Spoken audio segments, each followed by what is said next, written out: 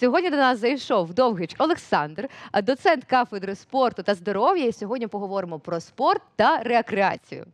Саш, Це правильно Доброго сказала. ранку. Приветствую вас. А, слухай, доцент кафедри здоров'я і фітнесу це зрозуміло. Розкажи, будь ласка, докладніше рекреація. О, рекреація – это то, чем люди занимаются свободное от учебы, от работы время, и, что характерно, они должны получать от этого удовольствие. То есть им это должно быть нравиться. Особенность рекреации, что ей нельзя заставить заниматься, э, насадить, как-то Мгм. сказать, занимайся рекреацией два раза в день, и будет тебе счастье. Нет, это то, что идет, э, скажем, изнутри, и то, что э, людям нравится, приятно делать. Саш, це рекреація, це певний комплекс вправ, чи це просто, якщо людина щось, щось робить, щось е, в своє задоволення? Скорее второе. То есть, грубо говоря, если у человека есть 15 минут, и он пошел э, в парк покататься на роликах, на скейте или просто э, Так. погулять, покидать каштаны, не знаю, поиграться с ребенком, то это смело можно назвать рекреацией. Но рекреация может носить более стройные формы, уже как-то в виде каких-то там мероприятий, праздников, э, таких, знаете, чего-то с какой-то целью. Забег под каштанами это тоже своеобразная рекреация, но со спортивной немножечко ориентацией. Клас. Да. Слухайте, у нас виходить з тобою з самого початку прямий ефір це рекреація. Тобто Так, ми робимо те, що нам в кайф. І Так. в вільний час ми теж говоримо, і знаходимо людей, спілкуємося. Э, Так, но тут еще э, составляющая активности. То есть, Так. если человек пассивно сидит там, э, смотрит, как течет вода, как э, голуби там э, воркуют, это не рекреация, это просто времяпровождение. То есть двигательная составляющая, что-то, что принесет определенную пользу ну, для здоровья, для человека, сделая его там хотя бы чуть-чуть лучше, здоровее. Тобто має бути фізика, так? Ну, Звичайно, а що ж. Ну, дивись, тут теж відбувається якийсь певний рух, правильно рукою, але він мінімальний. Ну, якщо там двома там, не знаю, з цигаркою щось там якісь там. Піруети робити, жонглювати. А Ну, скільки б ви взагалі радили, от в нормі має людина займатися спортом от на тиждень? Тому що я знаю, що кожного дня, типу, ну якби це ненормально, бо втомлюються м'язи, йде перенавантаження. Яка має бути система, щоб ми собі не робили шкоди? Ну, если честно, навредить э, двигательной активности, себе с двигательной активностью очень сложно. Это надо сильно постараться и, как говорится, ну так, ну, сильно-сильно. На самом деле это все очень индивидуально. Мужчина, женщина, подросток, э, пожилой человек, э, вид активности. Если человек, у него тяжелое производство, и, ну, там уже, знаете, с рекреацией, может быть, не все сложится. Очень важно, чтобы наш ЧСС выходила на определенный уровень. И человек, чтобы поддерживал этот уровень хотя бы 20-30 минут в день. Это было бы очень сильно хорошо.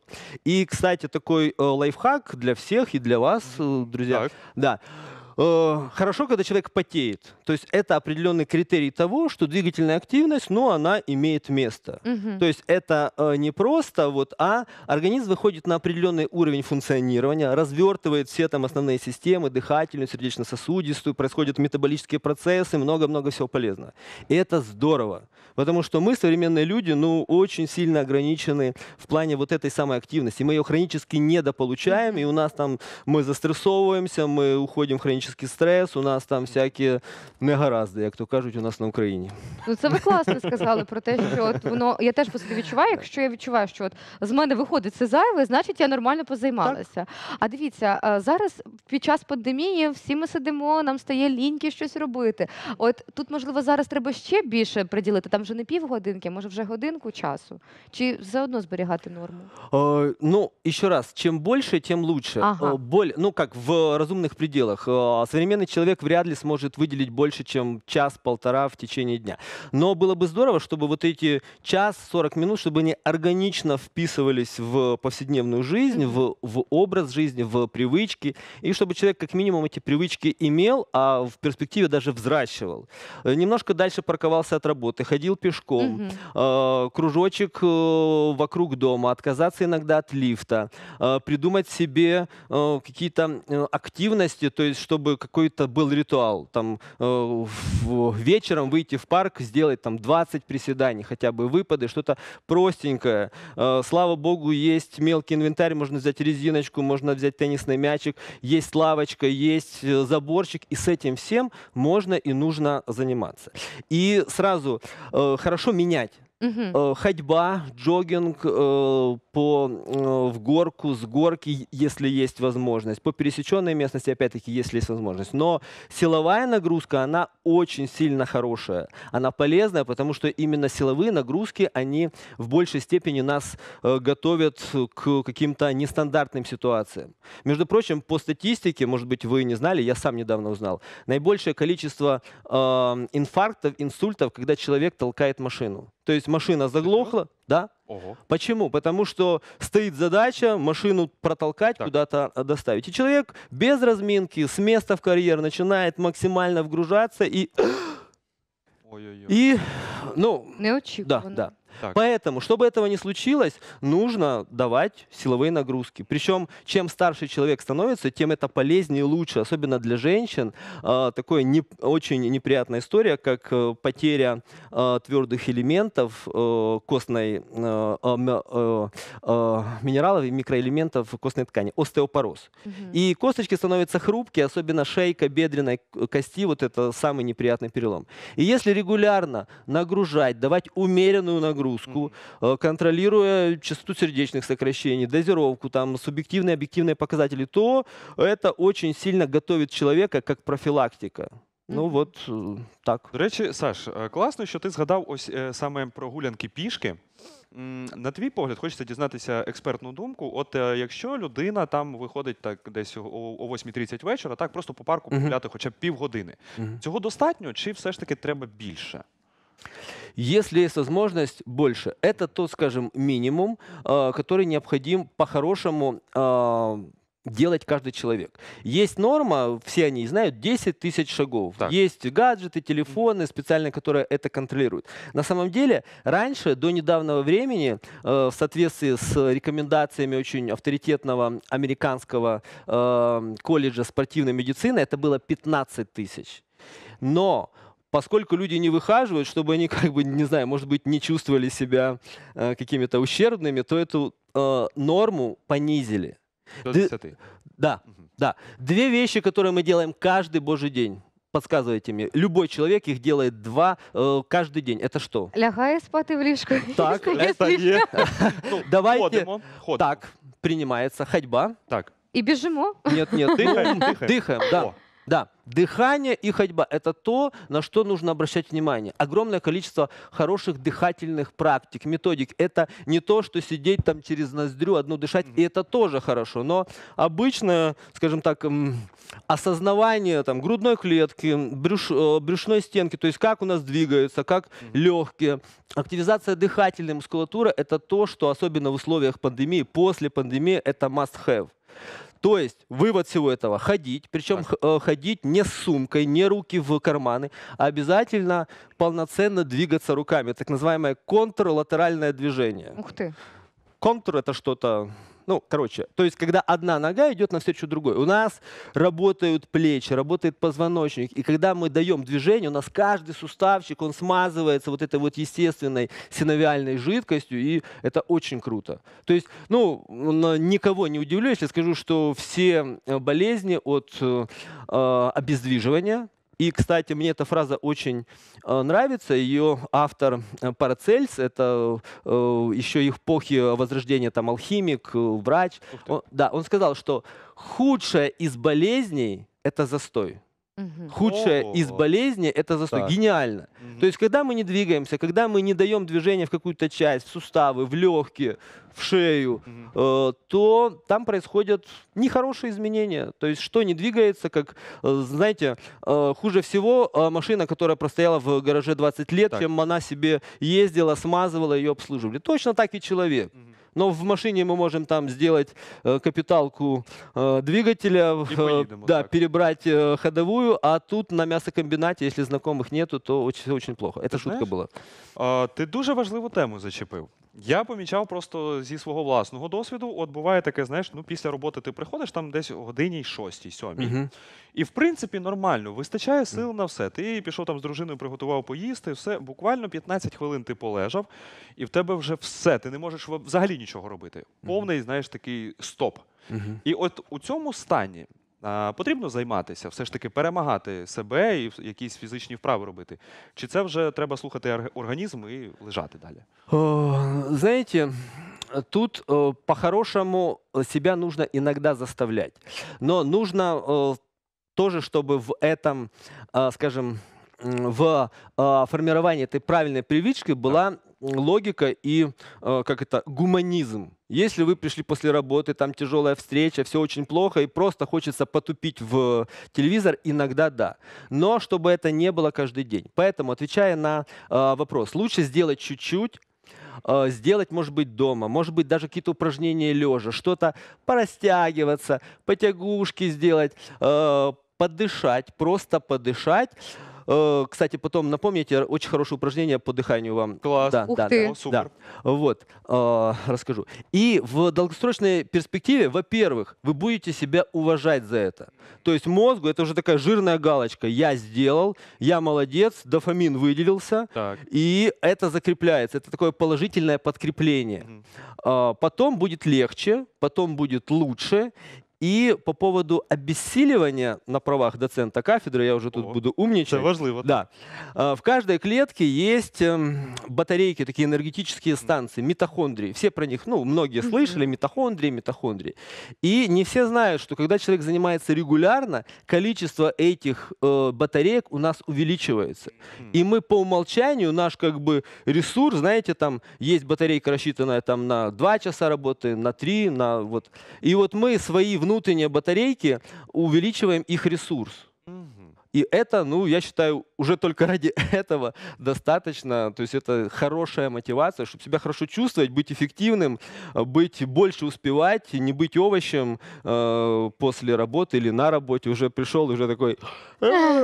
Слухай, класно. Це класна тема. А Да. знаєте, от мені ще цікаво зараз, ну і взагалі, типу, з дівчатка, там хлопці займаються спортом, і хтось це робить вдома або якось е, без навантаження, а хтось іде до тренажерного залу. Мгм. І е, я бачила приклади того, от якщо людина така, ну якби м'язиста, наче все добре, але ви теж м'язистий. Це 100%. класно, Колись, Саш. колись, колись, так, так. Але просто е, в тому питання, що вони, в принципі, не такі витривалі і не такі сильні, як ось їх м'язи показують. А люди, які ось просто якоюсь кардіо займаються, займаються якось самі спортом без навантажень, вони більш витриваліші і вони ну все одно сильні, у них руки сильні. З чим це пов'язано? Тобто я так розумію, що то просто набивання м'яз, а тут саме відпрацювання витривалості. Э, Ну, знаете, тут все очень непросто. Э, Первый тезис. Чем человек занимается, чему он уделяет больше времени, то у него становится лучше. Мгм. Поэтому логично предположить, что люди, которые проводят много часов, занимаясь силовой тренировкой, у них увеличивается гипертрофия, они становятся больше и сильнее. А если человек любит бегать марафоны, э, то, естественно, он будет вот такой вот, в фитнесе их называют дрыщами, А, да, есть такое. Э, Но это человек, который может преодолевать огромное расстояние на правильном пульсе, то есть человек очень выносливый. Поэтому все хороши. И бодибилдеры э, хороши, и э, те, кто бегает на выносливость. Более того, у нас э, наша э, э, композиция мышц, они же у нас неоднородные. Есть волокна, которые ну, изначально уже заряжены на взрыв, на Мгм. силу. А есть, наоборот, медленно сокращающиеся, их называют еще красные, и они заточены на монотонную работу, но очень длительную. И это в человеке уже где-то генетически детерминировано. Когда э, приходит ребенок на какую-то э, секцию, ему предлагают там прыгнуть вверх. И если из группы там из э, э, 10 плюс-минус одинаковых деток кто-то прыгает выше, это уже как бы сигнал к тому, что у него уже, наверное, на генетическом уровне чего-то больше. Его нужно брать в прыжки, в тяжелую атлетику, в метание, в спринт и так далее. А человек, он, допустим, еле оттолкнулся, но он может крутить велосипед часами, бегать, плавать и э, тут. Для, я э, очень э, подытожу. Для здоровья лучше выносливость. Мгм. Но сила, вот то, что я э, рассказывал, она тоже основополагающее качество. Поэтому золотая, такое. золотая середина, никто не отменял вот это вот правило, что, э, ну, как это, знаете, обезьяна между умными и красивыми, она не могла э, определи- Вызначитися. определиться, да, когда лев там сказал, одни звери э, к- красивые в одну сторону, умные в другую. И обезьяна говорит, мне что, разорваться? Да, ну, От ви ще Да. заговорили за біги, мені цікаво. А звісно, що кожна людина підбирає під себе як їй зручно, комусь зранку, комусь ввечері. Але з вашої професійної точки зору, який краще час? сейчас. Есть совы, есть жаворонки. И не нужно себя ломать. Если человек э, сова, он утром бегать 100% не будет. Но, Він полетить. да, да. Потім Но не нужно как бы все списывать на «Ой, я не могу утром встать, я же сова». Все поддается ну, определенному, скажем так, изменению в рамках вот того э, психотипа, особенностей э, функционирования нервной системы, привычек, в конце концов. Э, Поэтому прислушивайтесь к себе, бегайте тогда, когда удобно. Э, С утра многие, многие бегают с утра, и на самом деле это хорошо. Во-первых, это заряд энергии, а, Во-вторых, уже жирная галочка, что человек э, уважает себя целый день за то, что он что-то сделал хорошее для себя, полезное. С другой стороны, если пройтись, побегать вечером, и при этом вы хорошо засыпаете, у вас нету перевозбуждения, вечером не вопрос. Можно даже в обеденный перерыв или вместо обеденного перерыва. Но это, но Це, до это- речі, лайфхак. або побігти за обідньою перервою, а після неї вже зробити Так. собі обід. Саш, е, давай на завершення. Ти казав, є якась певна дихальна техніка. Мгм. Ну що, давай спробуємо. А, так, давайте. Ну, а, по-хорошему, для этого нам понадобится пояс. Но сейчас у нас пояса как бы нету. Концепция очень простая. Нужно представить, что у нас такой поясочек вокруг талии. И Затягну. Да. Э, Не, не, не, нет, э, наоборот? Ангелиночка, Мгм. отпусти, отпустите. Вот. И представить, может быть, резинка, тоненькая резиночка. И когда мы делаем вдох, постараться эту резинку или поясок равномерно, равномерно расширить. Не в живот. Многим ментально понятнее в живот. Там больше Так. мягких тканей. А вот про бока и про поясницу, про поясницу, там, где у нас зажато как бы образ такой Мгм. корсета, Так. вот туда нужно научиться дышать. Итак, меньше текста. Сели. Так. Э, Легонечко толкнули макушкой условно потолок, расслабились влево-вправо, чуть-чуть-чуть. И теперь спокойно, в зоне, в зоне комфорта, Мгм. начинаем равномерно расширять, э, расширять область талии. Спокойно. Это не про то, чтобы, знаете, сделать себе хорошо. Это про то, чтобы узнать о себе что-то новое. Я э, руками немножко показываю, может быть, для наших э, зрителей э, образ, чтобы был понятен. На вдохе мы равномерно расталкиваем, с выдохом равномерно сужаемся. И пускай девушки не пугаются, что животик выпячивается. Я Это- это нормально, я все знаю, я в 22 года работаю.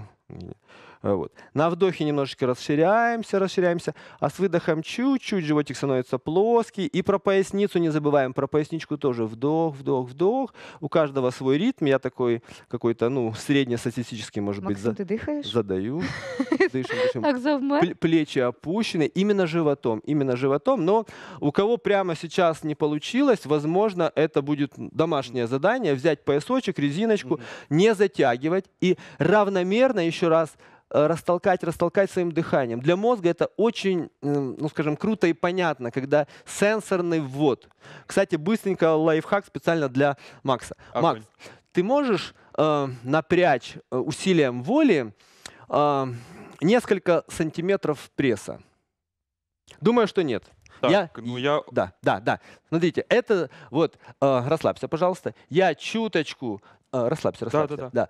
В живот немножко погружаюсь пальцами и говорю, Максим, толкни мой палец, пожалуйста. Вот. И еще раз расслабься, расслабься, и еще раз толкни.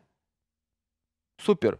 Что мы сделали? Мы, благодаря конкретным, понятным для мозга командам, Так. благодаря чувствительности, которая у нас есть во всем теле, смогли проработать, ну, пускай в двух э, повторениях, э, квадратный, э, несколько квадратных сантиметров пресса. Это я к тому, что пояс позволяет, ну, лучше выполнить задачу.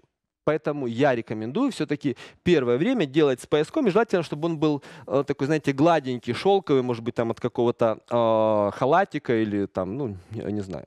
Вот. Так что я надеюсь, что телезрители, и вы тоже, друзья, Клас. будете регулярно практиковать, и это очень здорово. э, Ну, такое слово, я его все-таки скажу, тушит в хорошем смысле тушит нервную систему, потому что в большинстве случаев мы э, в том состоянии, когда мы стрессуем, нам нужно бежать, успевать, встречи, э, обязательства, э, там какие-то э, неприятности, и мы такие, Так, до речі, да, да. И когда человек спокойно, там, 5 минут подышал, он сразу приводит свое, а, свою нервную систему в состояние баланса. Эти чаши э, бей, беги или замри, либо спи и выделяй, так физиологи говорят, он уравновешивает и Клас. может дальше в бой трудиться, слухай, работать. неочікувано, Ха. так. Е, так, Саш, ми тобі дуже вдячні. Дякую за Да. майстер-клас. Дякую за те, що ти почав ранок у нашій компанії. Дякуємо А, вам. Тепер ми будемо ходити з Максимом ласка, і да. дихати у, у випадку стресової ситуації. Тепер я знаю, як себе привести до тями. Так, друзі, Да. давайте представимо Олександра. Олександр Довгич це доцент, доцент кафедри здоров'я та фітнесу і рекреації, про що ми сьогодні і поговорили. Саш, ще раз дякуємо тобі.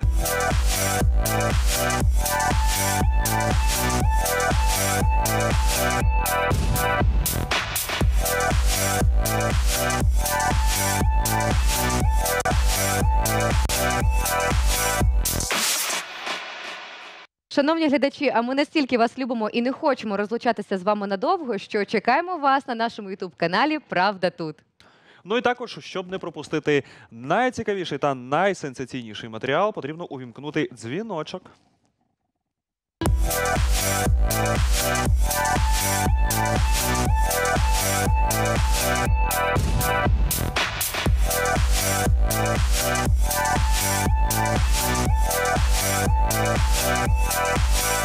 back.